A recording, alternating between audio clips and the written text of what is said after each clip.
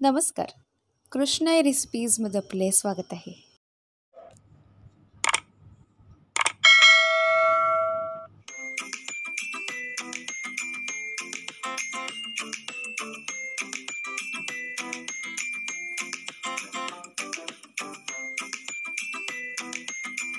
आज आपण पाहणार आहोत नारळी पौर्णिमा स्पेशल एक गोड पदार्थ तो म्हणजे नारळी भात. चला तर पाहूयात नारळी भाताची रेसिपी इथे आपण सर्वप्रथम खोबऱ्याचा किस किसून घेतलेला आहे एक पेला ज्याचं आपल्याला नारळाचं दूध काढून घ्यायचं आहे.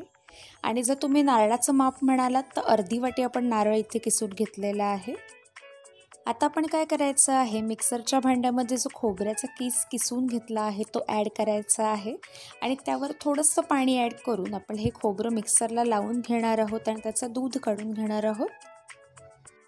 मिक्सरला जे आपण खोबरं लावून घेतलेलं आहे त्याचं आता आपण दूध काढून घेणार आहोत. गाळणी घ्यायची आहे आणि हे गाळून घ्यायचं आहे. जो जाड खोबऱ्याचा भाग राहणार आहे तो देखील आपण दाबून घ्यायचा आहे आणि त्यातनं देखील दूध काढून घ्यायचं आहे. आणि या दुधामध्येच आपल्याला आपला नारळी भात शिजवायचा आहे. आम्ही आमच्या चॅनलवर नारळाच्या दुधातले गोड अप्पे देखील दाखवलेले आहेत. वरती मी आय बटनमध्ये लिंक दिलेली आहे. नक्कीच बघा. नारळी भातासाठी इथे आपण एक पेला बासमती तांदूळ घेतलेले आहेत. तुमच्याकडे जो अवेलेबल आहे तो तुम्ही घेऊ शकता. आंबेमोहर घेऊ शकता तांदूळ कोलम घेऊ शकता. आता आपण व्यवस्थित तांदूळ दोनदा धुवून घ्यायचा आहे आणि त्यानंतर दहा मिनटं ठेवून द्यायचं आहे भिजवून. मगाशी आपण एक पेला खोबऱ्याचं नारळी दूध काढून घेतलेलं आहे जे आपलं दीड पेला झालेलं आहे. या पेलाचं आपण प्रमाण घेतलेलं आहे. त्याचबरोबर पण याच पेलाचं प्रमाण घेऊन एक पेला गूळ घेतलेला आहे आणि अर्धा पेला आपण खोबरं घेतलेलं आहे. त्याचबरोबर इथे आपण चार ते पाच लवंगा घेतलेल्या आहेत आणि तीन हिरव्या वेलच्या घेतलेल्या आहेत तुपावर फोडणी देण्यासाठी. बदाम पिस्ता आपण थोडा वेळ भिजवून घेतलेले आहेत त्याची सालं काढून घेतलेले आहेत. तुमच्या आवडीनुसार तुम्ही अजूनही ड्रायफ्रूट्स घेऊ शकता. आता आपण नारळी भात करायला घ्यायचा आहे. त्यासाठी आपण मोठे तीन चमचे साजूक तूप ॲड करणार आहोत. आणि व्यवस्थित साजूक तूप आपल्याला मेल्ट होऊन द्यायचं आहे. तूप गरम झालं की त्यामध्ये आपण लवंग आणि वेलची ॲड करायची आहे. आणि दोन मिनटं परतवून घ्यायचं आहे. आणि लगेचच त्यावर आपण जे एक पेला बासमती तांदूळ धुवून दहा मिनटं भिजवत ठेवले होते ते ॲड करणार आहोत.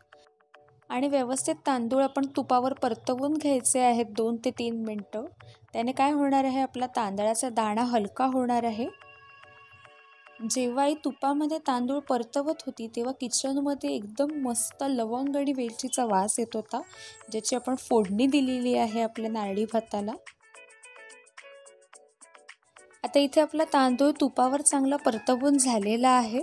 आता आपण लगेचच त्यामध्ये जे नारळाचं दूध काढून घेतलेलं आहे ते ॲड करणार आहोत. आणि नारळाच्या दुधामध्ये आपण तांदळाचा दाणा म्हणजेच तांदूळ शिजवून घेणार आहोत.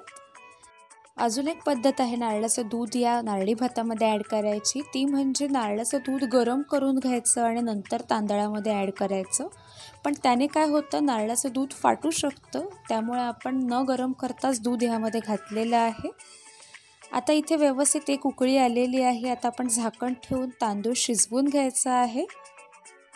आता आपण इथे बघू शकता नारळाच्या दुधामध्ये आपला तांदूळ व्यवस्थित शिजलेला आहे. आणि कुठे थोडासा तांदूळ राहिला असेल शिजायचा तर पुढे आपण गूळ ॲड करणार आहोत तेव्हा तो शिजणार आहे.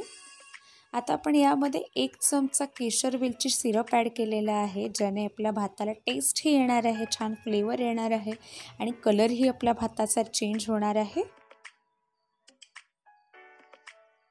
इथे आपलं तांदूळ तर व्यवस्थित शिजलेलं आहे. त्यामुळे जे आपण अर्धा पेला खोबरं घेतलेलं आहे ते ॲड करणार आहोत. व्यवस्थित आपल्याला मिक्स करायचं आहे हे. आणि लगेचच आपण जो गूळ कापून घेतलेला आहे तो देखील ॲड करणार आहोत तांदळामध्ये.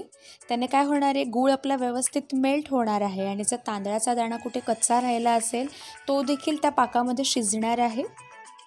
व्यवस्थित आता आपण हे सगळं मिक्स करायचं आहे आणि त्यावर झाकण ठेवून गूळ मेल्ट होऊन द्यायचा आहे.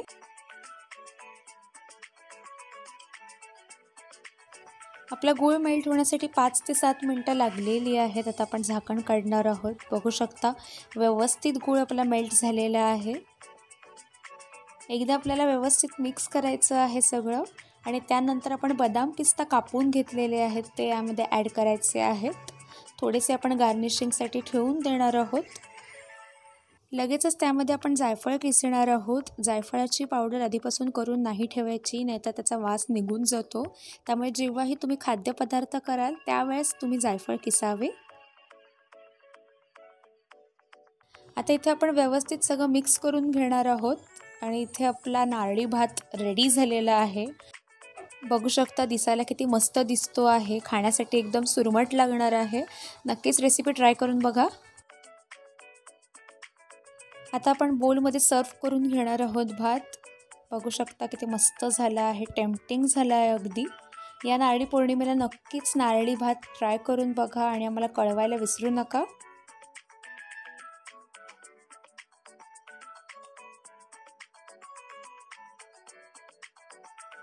मगाशी जे आपण पिस्ता आणि बदाम ठेवले होते ते आता आपण वरनं गार्निश करून घेणार आहोत. बघू शकता की ते मस्त दिसतो आहे.